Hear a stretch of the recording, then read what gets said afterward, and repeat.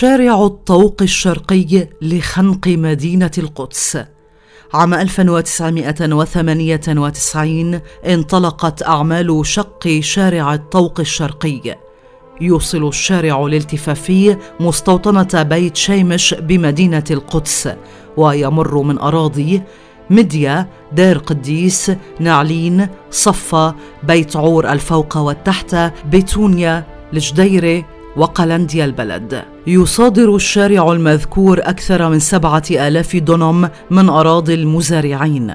أطلق عليه اسم الطوق الشرقي لأنه يهدف بالدرجة الأولى إلى عزل عدد كبير من القرى في محافظة القدس عن امتدادها الطبيعي.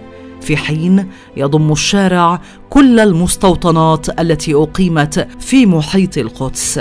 كمستوطنة جبل أبو غنيم ومعالي أدوميم وكتحات زيون وعطسيون وبنيامين وغيرها. كما يضم المشروع أيضا شق ثلاثة أنفاق وبناء خمسة جسور في المنطقة الواقعة بين مناطق الزعيم الطور العيزري أبو ديس السواحرة الشيخ سعد وصولا إلى بلدة صور باهر.